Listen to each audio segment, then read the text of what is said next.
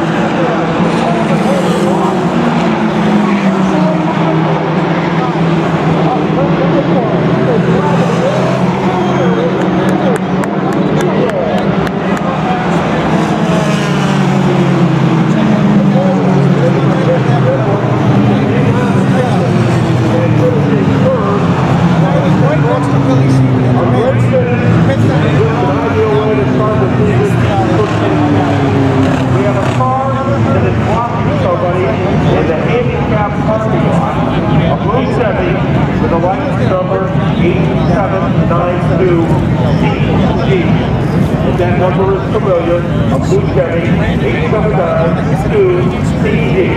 That is blocking somebody in the handicap area. Nobody's blocked Ken Cassidy Jr. today. He opened the season with a victory. As we go upstairs to the third room, we're cleaning up the shop the number 11 compound this.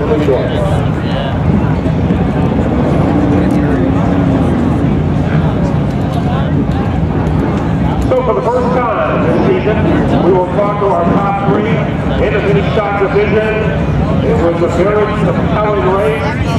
Jeff Pembroke started on the full, held the lead as long as he could before finally relinquishing it to Ken Cassidy Jr.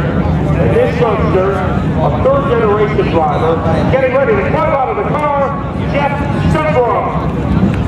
So a third place finish to open the season, but to have the lead for a lot of laps in this race, uh, how did Ken Cassidy make the pass? Yeah, my car is getting too tight. My tire's weren't good enough. Held the ball as good as I could. Playing the whole block out. Congratulations, Kenny. You guys had a great car. You know, I thank my dad and uh, Dave Jr. for stepping in the big car this weekend. Mark Stockton, thank you for Dan Rose, American Barbie, Chris Ryan, Rick Simmons. All things not, I know it's cold, but we're glad we guys are enjoying it. Well, watch this guy this year. He's on his way to a breakout season. Jeff Summerall. And now it's time to talk to the reigning champion in the mini stock in car number 39, Glenn Colvin. So Glenn, you were able to get second place. It looked a little doubtful for a while. How were you able to get there? Uh, just back position, uh, the car was loose all night, but, uh, I think it was as possible. Uh, got a couple people to thank, uh, Mr. Bruder, Big A Auto Parts, DCL Specialties, and, uh, very glad that all the DCL powered up the front. He started this race in Sunday in 15th position, finishing second, Glenn Colvin. And now it is time to meet our champ. The all-time winner in the mini stock division, adding another victory to his resume, Ken Cassidy Jr. So Ken, I think you were a little patient for the first 10 laps, and then you really showed what this car was capable of. How easy was it to get to the front? Uh, despite my time for a little while, again, uh, said not going to win the race in the first lap. Car was pretty stout, you know, uh, got taken through my dad, my rookie car, uh, everybody had to grill.